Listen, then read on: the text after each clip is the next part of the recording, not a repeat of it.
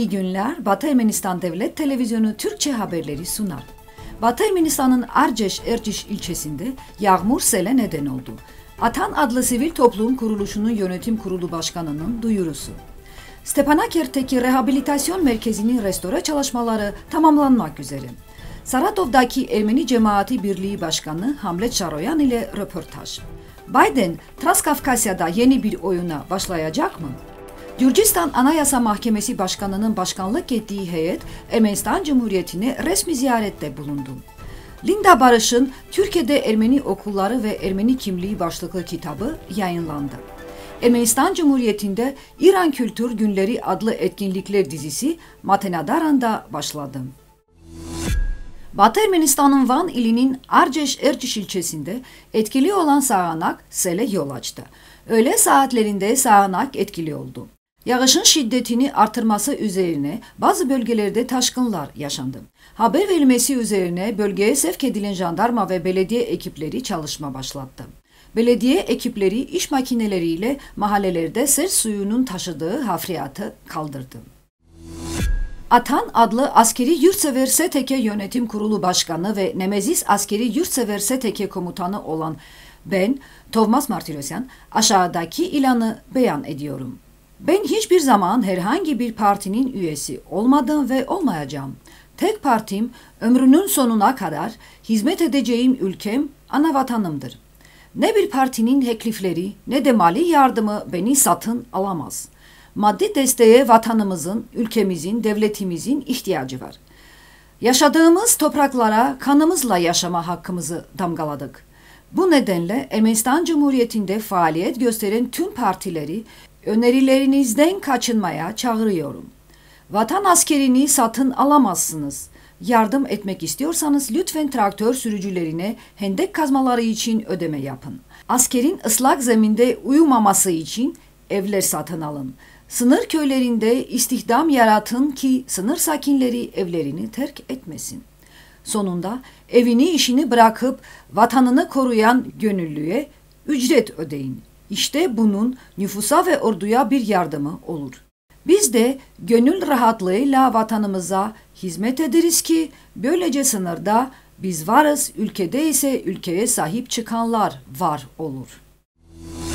Hayastan adlı tüm Ermeniler Fonu tarafından Stepanakert'teki Caroline Cox adına rehabilitasyon merkezinde başlatılan restorasyon çalışmaları tamamlanmak üzere.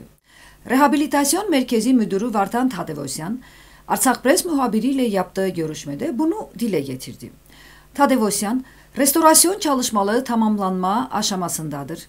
Merkezde inşaat çalışması yapma talebimize Uluslararası Kızıl Haç Komitesi yanıt verdi ve Aurora İnsani Yardım girişimi de destekledi.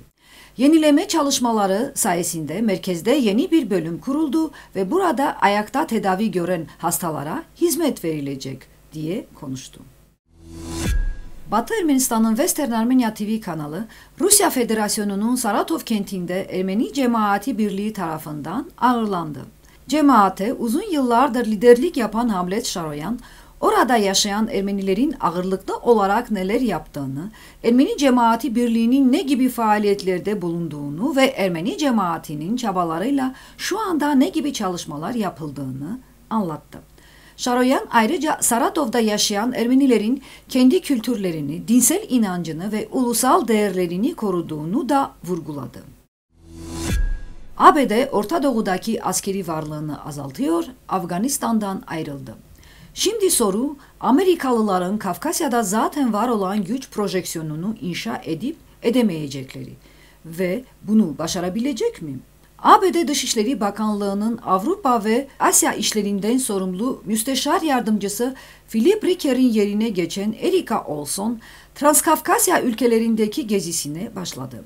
Şu anda Yerevan'da ve ülke liderleriyle görüşmelere ek olarak ABD'nin Ermenistan, Gürcistan ve Azerbaycan büyükelçilerinin katılımıyla Kafkasya'daki ABD misyon başkanları konferansına katılıyor. Bölgedeki Amerikan misyon başkanlarının önceki konferansları 2018'de Tiflis'te ve 2019'da Bakü'de gerçekleşti. Makalenin tamamı web sitemizde mevcuttur. Gürcistan Anayasa Mahkemesi Başkanı Merab Turava başkanlığındaki bir heyet, Ermenistan Cumhuriyeti Anayasa Mahkemesi Başkanı Arman Dilanyan'ın daveti üzerine 4 Kasım'da Ermenistan Cumhuriyeti'ne resmi bir ziyarette bulundu. Ermenistan Cumhuriyeti Anayasa Mahkemesi, ziyaretin amacının ikili ilişkilerin daha da gelişmesine, niteliksel olarak yeni bir ivme kazandırmak ve mahkemeler arası işbirliğinin ikili ve çok taraflı boyutlarda derinleştirilmesine katkıda bulunması olduğunu bildirdi. Resmi ziyaret çerçevesinde Ermenistan Cumhuriyeti ve Gürcistan Anayasa Mahkemeleri başkanları arasında özel bir görüşme yapılacak ve kapsamlı profesyonel görüşmeler gerçekleştirilecek. Sosyolog Doktor Linda Barış'ın Türkiye'de Ermeni okulları ve Ermeni kimliği başlıklı kitabı iletişim yayınlarından çıktı. Linda Barış'ın doktora tezinin Türkçeleştirilmiş ve kısaltılmış versiyonu olan kitapta Ermeni okullarından pek çok öğrenciyle ve eğitimciyle yapılmış mülakatlardan pasajlar da yer alıyor. Halen Nevşehir Hacı Bektaş Üniversitesi Sosyoloji bölümünde görev yapmakta olan Doktor Linda Barış, Ermeni okullarının dünü, bugünü ve geleceği hakkında açıklamalarda bulundu. Türkleştirme politikaları çerçevesinde dönüştürülen Ermeni okullarında uygulanan eğitim sistemi ve müfredat, Ermeni kimliğinin biçimlenmesini nasıl etkiledi, ne gibi kimlik karmaşaları yarattı, Ermeni okullarında hüküm süren sıkı denetim havası, ortamı ve öğrencileri nasıl etkiledi, Buradaki Ermenice dil öğretmenindeki kısıtlamalar Ermenicenin zayıflamasında veya yitiminde nasıl bir rol oynadı? Türkiye'de Ermeni okulları ve Ermeni kimliği kitabı bu sorulara etraflı cevaplar getiriyor. 2022 yılında Ermenistan Cumhuriyeti ile İran İslam Cumhuriyeti arasında diplomatik ilişkilerin kurulmasının 30. yıl dönümü ve bunun arifesinde Matenadaran'da İran Kültür Günleri adlı etkinlik başlıyor. Etkinlikler çerçevesinde kitap sunumları, Gacar dönemine adanan bir sergi ve eski el yazmaları müze enstitüsü olan Matenadaran'da tutulan Gacar dönemi el yazmalarının restorasyonu, teorik pratik programının uygulanması planlanmaktadır. Matenadaran Müdürü Vahan Tergevoncan yaptığı açıklamada, Matenadaran'da 450'den fazla Farsça el yazması ve birkaç yüz adet belgeler var. Şimdiye kadar bu el yazmaları ve belgelerin incelenmesi konusunda çok işler yapıldı. Bugünden itibaren Matenadaran'da İran Kültür Günleri'nin açılışını ilan ediyorum, dedi.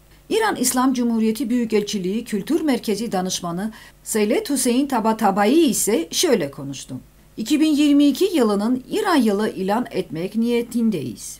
O yıl çerçevesinde Ermenistan Cumhuriyeti'nin farklı eğitim ve kültür kurumları ve üniversiteleri ile çeşitli kültürel etkinlikler düzenleyeceğiz. Ve o yıla adanan etkinlikleri Matenadaran'dan başlatmamız bizim için büyük bir onurdur. Bugün için bu kadarını öngördük. Şimdi size Isabel Bayraktaryan'ın seslendirdiği Ermeni halk şarkısı Bar Bar Genem adlı şarkıyı sunuyoruz. Aman gödürüm şarkınem,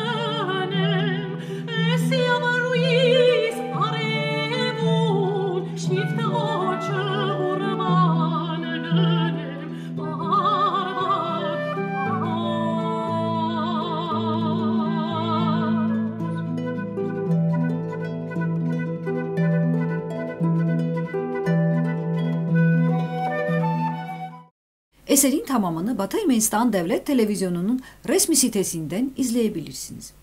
Hoşçakalın.